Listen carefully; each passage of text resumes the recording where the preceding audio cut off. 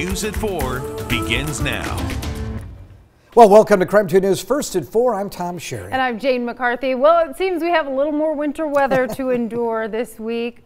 Spoiler alert, we are bouncing back this weekend, so hang on to that thought. First, though, Tom, another storm. I know, and we've even have a winter storm warning in effect right now across the inland northwest. Uh, take a look at this. We'll show you everywhere shaded in kind of that pink. That's the winter storm warning. We expected the snow to begin after midnight tonight and then continue through early tomorrow afternoon. Four to six inches of snow possible in these areas that are shaded in pink. We have a winter weather advisory in effect for those areas that are shaded in yellow. Could see one to three inches of snow in those areas, and also could even see some periods of freezing rain uh, in those areas shaded in yellow. So again, this is what we're thinking here in the Spokane area. Again, uh, overnight and for tomorrow morning for your commute, it could be ugly. Uh, three to six inches of snow possible. I think the commute home will be okay. Uh, we'll look for temperatures to climb above freezing in the afternoon and see how it's mostly in a central and eastern Washington and northern Idaho event as you get closer to the east slopes of the Cascades.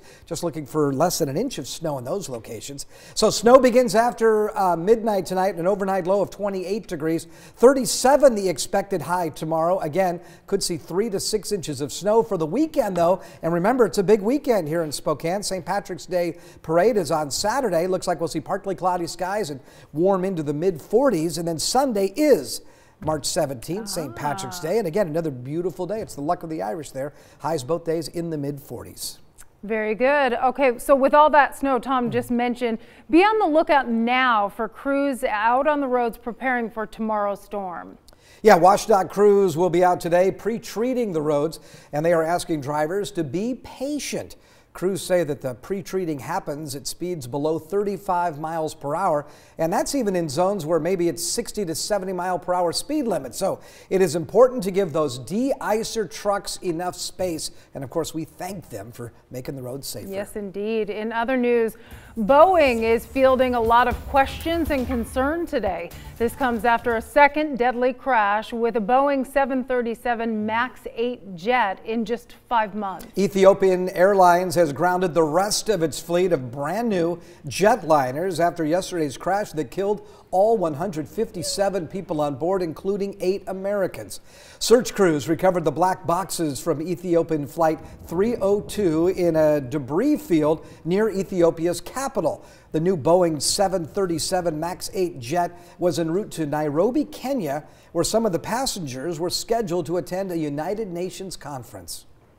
I uh, would not be reluctant to get on a 737 MAX, but I assure you the manufacturer is terribly, uh, terribly concerned about this. Roughly 350 737 MAX jets are in service around the world now. Boeing has orders pending for nearly 5,000 more. The 737 MAX that crashed yesterday was delivered to Ethiopian Airlines in mid-November. The airline is one of Africa's leading carriers.